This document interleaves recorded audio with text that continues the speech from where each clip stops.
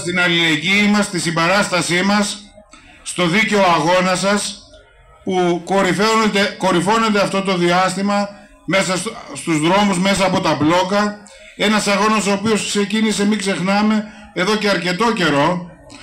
προβάλλοντας και διεκδικώντας αιτήματα διαχρονικά, τα οποία οξύνουν διαρκώς την κατάσταση των αγροτών, οδηγώντας σε αδιέξοδα και βέβαια εδώ στη Θεσσαλία και όχι μόνο αλλά ειδικά εδώ στη Θεσσαλία με τις πρόσφατες καταστροφικές πλημμύρες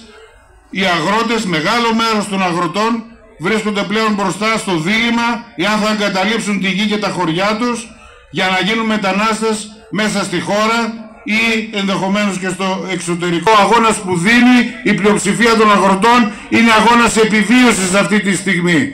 Και φυσικά υπάρχουν αιτίες Υπάρχουν υπεύθυνοι που είναι οι κυβερνήσεις διαχρονικά που δεν λύσαν αυτά τα προβλήματα παρά τα προβλήματα διωγγώνονται συνεχώς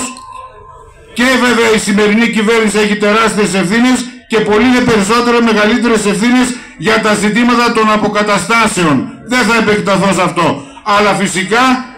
και το τονίζουμε αυτό και με παρεμβάσεις μας κεντρικά το έχουμε αναδείξει όχι μόνο την αναπλήρωση των εισοδημάτων και των αποζημιώσεων, αλλά και την εξασφάλιση εισοδήματος σε κάθε οικογένεια που έχει πληγεί, ούτως ώστε να μπορεί να τα αποκριθεί αφενός μέσα στα τρέχοντα έξοδα των οικογενειών τους, αφετέρου στην ε, νέα πραγματικότητα που καλούνται να βιώσουν το επόμενο διάστημα και να μην κοροϊδευόμαστε για όλα αυτά τα οποία διεκδικείται και διεκδικεί και το ΚΚΕ στο προ... περσινό προπολογισμό ήταν εγγεγραμμένα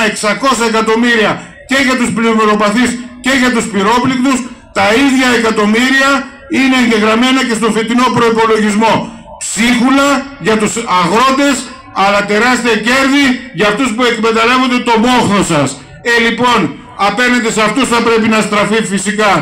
και στις πολιτικές που εφαρμόζονται, αλλά και σε αυτούς που καταλυστεύουν τον κόπο σας, το εισόδημά σας,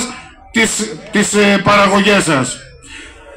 Εμείς θα είμαστε μαζί σας, το δηλώνουμε και από αυτό το βήμα, το ξέρετε στην πράξη και το επόμενο διάστημα σε όποιες αποφάσεις πάρετε για κινητοποιήσεις, για οποιοδήποτε ε, μέτρο που θα πάρθει προς την κατεύθυνση ανάδειξης και διεδίκησης των προβλημάτων σας, θα είμαστε αρρωγοί και συμπαραστάτες στην πορεία αυτή.